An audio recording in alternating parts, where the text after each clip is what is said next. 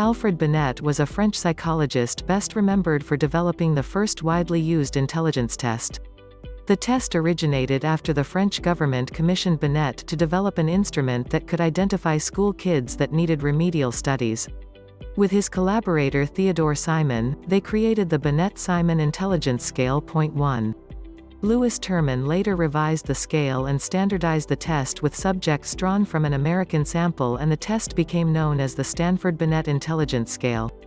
The test is still in use today and remains one of the most widely used intelligence tests. Point 2. Best known for Binet-Simon Intelligence Scale 1 Stanford Binet IQ Test Early life Alfred Binet was born Alfredo Binetti on July 8, 1857, in Nice, France.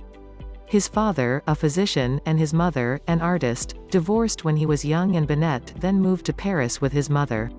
After graduating from law school in 1878, Binet initially planned to follow in his father's footsteps and enroll in medical school.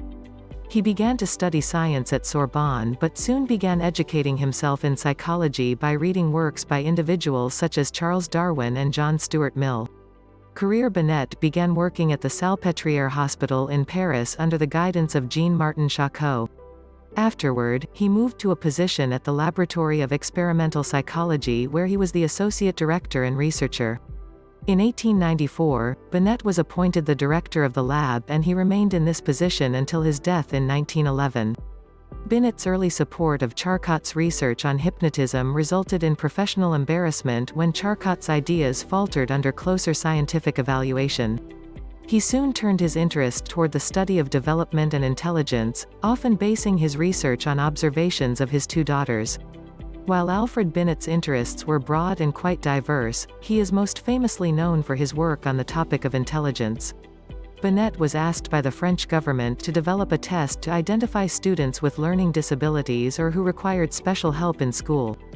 Binet's intelligence test Binet and colleague Theodore Simon developed a series of tests designed to assess mental abilities. Rather than focus on learned information such as math and reading, Binet instead concentrated on other mental abilities such as attention and memory. The scale they developed became known as the Binet-Simon Intelligence Scale. The test was later revised by psychologist Lewis Terman and became known as the Stanford Binet.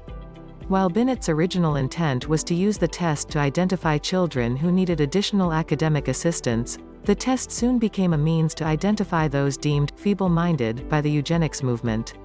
Eugenics was the now debunked belief that the human population could be genetically improved by controlling who was allowed to have children.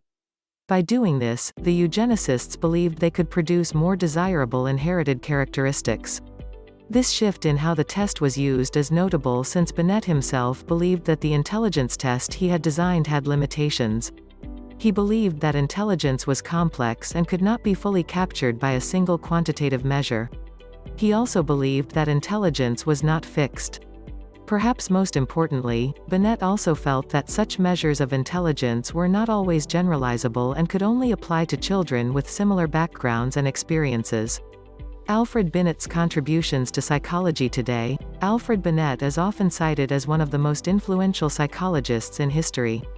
While his intelligence scale serves as the basis for modern intelligence tests, Binet himself did not believe that his test measured a permanent or inborn degree of intelligence.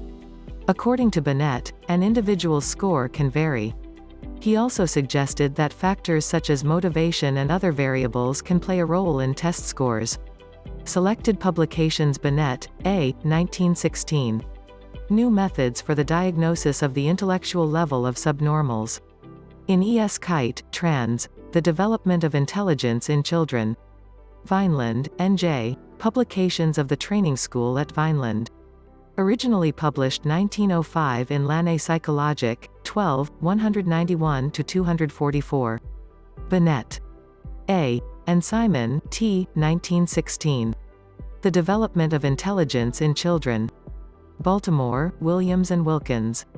Reprinted 1973, New York, Arno Press, 1983, Salem, NH, Ayer Company. In his own words, some recent philosophers seem to have given their moral approval to these deplorable verdicts that affirm that the intelligence of an individual is a fixed quantity, a quantity that cannot be augmented. We must protest and react against this brutal pessimism, we will try to demonstrate that it is founded on nothing.